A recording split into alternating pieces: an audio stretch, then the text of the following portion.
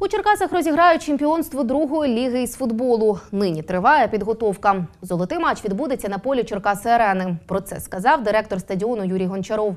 Таке рішення ухвалила Центральна рада професійної футбольної ліги. Черкаси приймуть матч за звання абсолютного чемпіона другої ліги. Титул розіграють між переможцями груп А і Б. Орієнтована дата поєдинку 16 або 17 червня.